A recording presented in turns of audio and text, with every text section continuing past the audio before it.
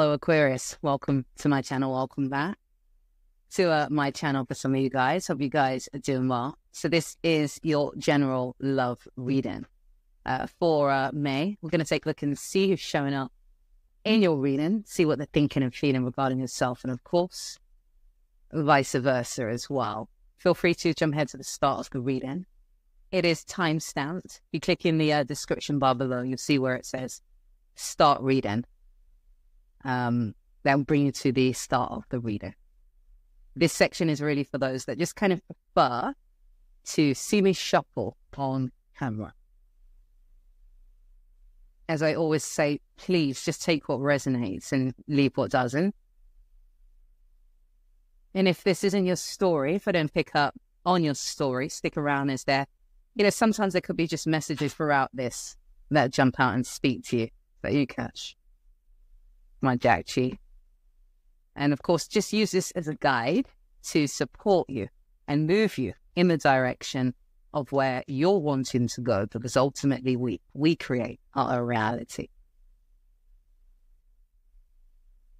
Go. Lovely. So just ah, at least getting that of wisdom. All right, so just let me take these in and I'll be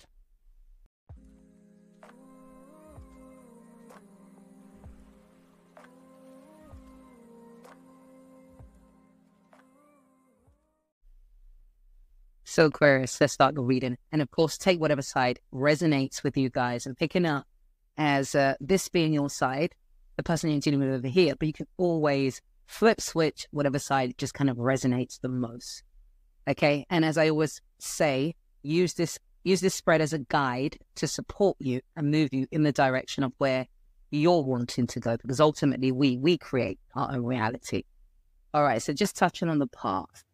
All right, this this is a um a connection that kind of went full circle. It's like a cycle had completed and you kind of come back together again. So this is someone that you kind of uh there was an opportunity very much in the the past state of are we going to do this again? Are we going to try this again? You were definitely ready to embrace this opportunity to create something new, or at least attempt to create something new uh, with this person. But still, there was this, with the judgment card, there's still this view has this person changed? Is it going to be different? What is it going to be like? You know, is it going to go the distance? Are we going to go the distance? There's still those ideas, or was. Again, this is the past those ideas of you just trying to, um, yeah, that, that's coming up for you ultimately. That's coming up for you. And for them, you know, their focus was on, okay, I'm going to move forward with this. I'm going to move ahead with this. Uh, but at the same time, I'm waiting for something. And I feel like that waiting has to do with the current state of where they're at at the moment, which we'll get into in a minute. But there is still this, again, waiting. Loving the fact that they got the sun because they well, of course, naturally, you're both coming together again, if there's a, a, a cycle, full, you've come full circle and you've both decided to try this again, then, you know, this is natural to, and this kind of represents the positive impact that they see in some way, shape, or form that you have on them or on their life in some way. But again, there is that, that waiting. Yeah, it's representing you, which brings us to where we're at at the moment. Okay, so there is an emotional fulfillment represented by the 10. So that could be due to maybe uh, kids that you might have, or uh, maybe you've already have uh, or already a family that you kind of have started, or doesn't have to be, but definitely emotional fulfillment. You both want to be here. Is that type of thing. You're fulfilled emotionally by this. However, we're going back to this. I'm waiting for something. And this something is an apology. They're waiting for an apology. I don't think you would know that though, because you're trying to get them to speak or you're trying to maybe ask them questions uh, just about, you know, what's going on for them or is there, you know, if they got something to say or something about around that, something like that. Definitely have communication on your mind. But for them, it's like, no, I'm going to keep keep quiet because you should know. So they think you're a mind reader. You should know why they're, you know, waiting. It's like this person expects you to to read their mind. You're sure why or how. Yeah, why? I mean, you know, whatever happened in the past, which caused you guys to maybe split up or go through some form of separation, and it's, you know, time has passed. This recycling has, of course, is is is a fresh start for you guys to move ahead. Uh, but there is maybe certain things that need to be ironed out, especially coming from this person. They do feel like an apology is being owed or an explanation about something needs to be spoken about, something along those lines.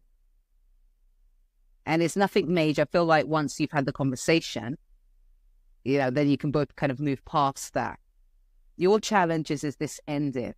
There's something around you feeling like, and that's in your challenge. How do I put that?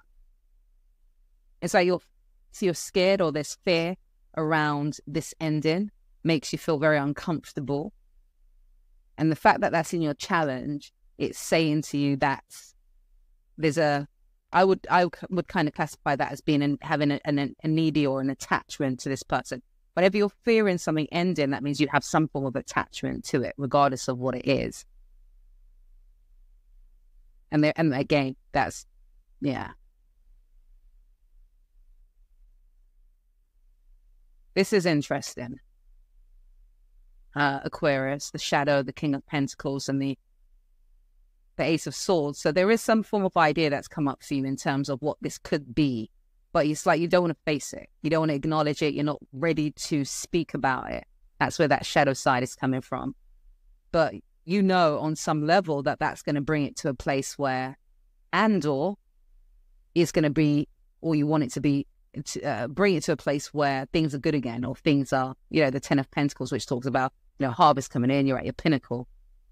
It's where it should be, this relationship. Again, it's like without this acknowledgement, and it's very much tied to it, I'm not sure whether this person is going to be willing to move ahead because we have that chariot card there. So what's starting to happen now is they're starting to think, okay, I'm not sure whether this could am I in this? Should I go ahead with this? And there is this back and forth with them thinking like, because their challenge is, is am I able to turn this into something? Am I equipped to do that? Not sure why they're thinking that. Not sure why they would think that. Uh, Aquarius, why would your person think that?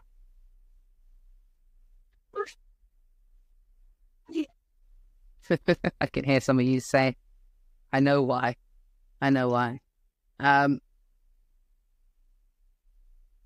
yeah, there's confusion around whether they should move ahead with this now. That's what it's breed. Even though you've not, even though they've not expressed to you what's actually on their mind, what's bothering them, what they need to hear from you. You know, they want they're wanting um, to come to some form of decision on that. And that's kind of reflected in what they're wanting as well. The two. Yeah, it was like that queen, sorry, not the queen, the knight. Um, so there's something around this person feeling like they're not emotionally mature enough. They don't have that emperor. They're not a leadership type of character. Yeah, there's a bit of self judgment as well regarding that. But they don't have the tools in order for them to, to feel like they're equipped to handle maybe certain aspects of your character, uh, Aquaria. But like I said, they're wanting to come to some form of decision and they're kind of waiting for insight around that. They're waiting for insight around that. You, you're wanting to hold on to this, regardless of the challenges that you face.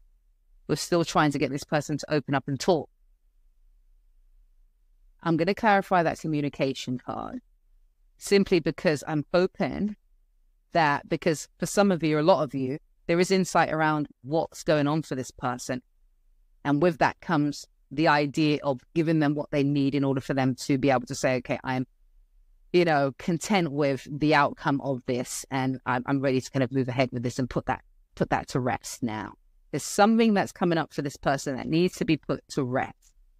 And for a lot of you, you know what that is. You're just not ready to deal with that. You're not ready to maybe face certain things that you've done.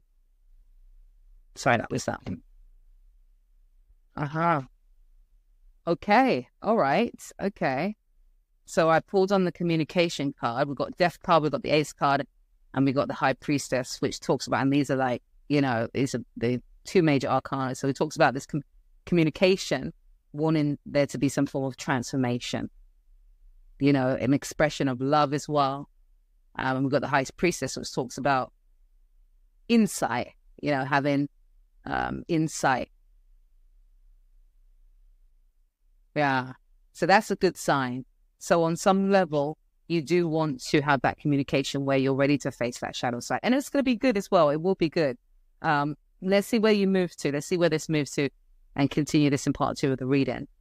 Who knows um, whether you actually take the plunge, whether this person, you know, decides on whether they're going to move ahead with this or not, um, and where this kind of leads to. Should be showing up on the screen as we speak, guys. So click on that. And I shall see you guys in a bit.